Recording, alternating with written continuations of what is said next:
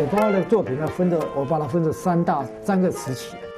第一个时期就是根据那时候是上海默片到台湾来，以作为电影的主题曲插曲为主。那第二个时期就是从汪志峰开始创作的时候，那汪志峰他的创作是，他为天下的女性啊发声，为天下的女性争取在感情世界的发言权。第三个时期是一语独大，一语独大这些参与创作的老师啊，就会受到他的空间受到压缩。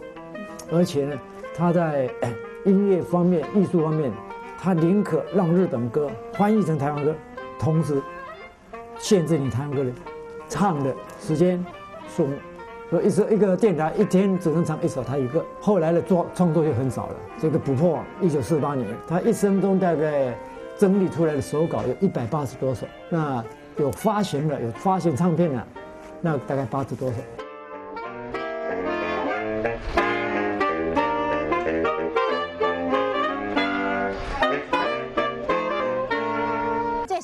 是属于是我们的台湾的地下国歌，每一个人都会唱这首歌。当时二八事变以后，很多跟二八事件有关的台籍的精英跑到日本去，或者后来又跑到美国去。他们在海外，比如说大家聚聚，台湾同乡会聚聚的时候啊，要先唱一首大家会唱的歌，都唱汪志峰，唱完又开会。做国民党的那个这个廖飞亚，他就抱回来。望中是台独的国歌，其实不是台独的歌，因为台独人士要开会之前呢，大家想家嘛，唱一首大家能够知道的，大家共同能够唱的歌，就是汪志峰共鸣的歌。唱完以后再开会，所以被列为禁歌。我知道这首歌含义很深，就是表示说我们那个台湾的女孩子很含蓄，想要找一个男朋友就不敢找。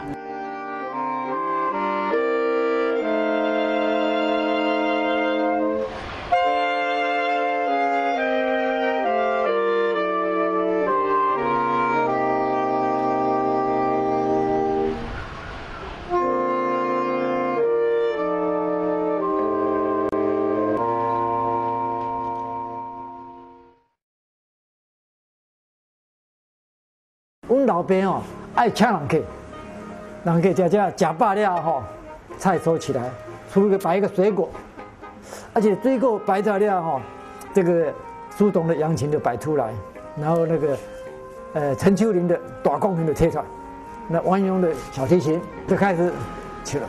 讨论你要到什么地方讨论，在酒家，因为当时的社会环境哦，会唱歌的只有两种人，第一个。寡喜，像纯纯啊、爱爱啊，他们能唱。一般良所谓良家妇女不会唱歌。另外一种就是酒家的小姐，或者是艺旦街的人，那个艺旦才会唱歌。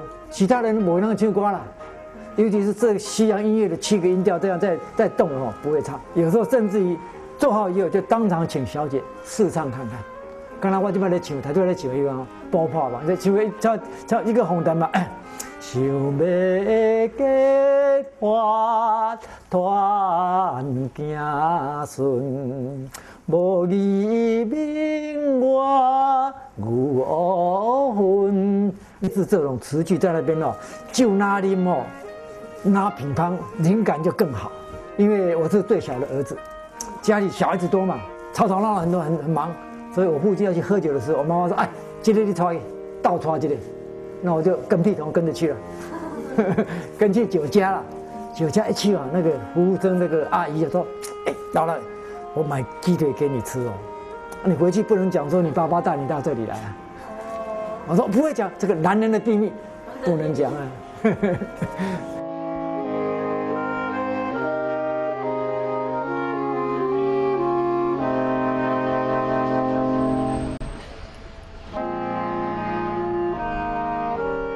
我爸爸同时除了以以文会友以外，还是要以酒会友。通常来往的都是一些喜欢喝朋友的艺文界人士，啊，譬如王云峰，琥珀王那个作曲者。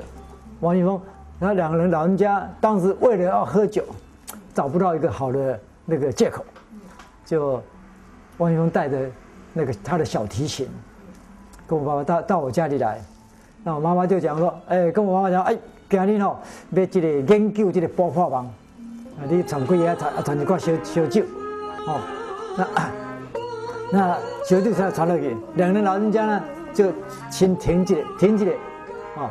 一个啉一杯秘鲁，啉一杯，啉不了呢。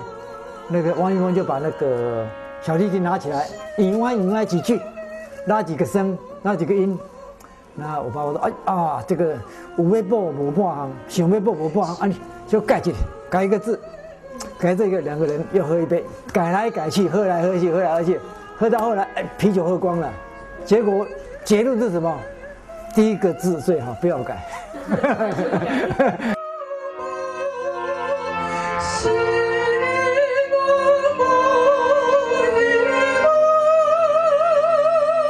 不破网就是希望能够以后怎么样，有多好多好，希望他的那个达成他的愿望，所以那个补破网就是补那个补不好的希望，不好的望，就希望把那个破网把它补好了，这样变成很好的希望，这样子。希望、以往跟希望，在台也是差一个音节而已。希望跟希望，哦啊。补补破网，那补你破去的希望，然后捕鱼以后那个网子会破，你要补网子，就把网子影射为社会的破碎的一个情况，破网网子破掉了，我们要补它。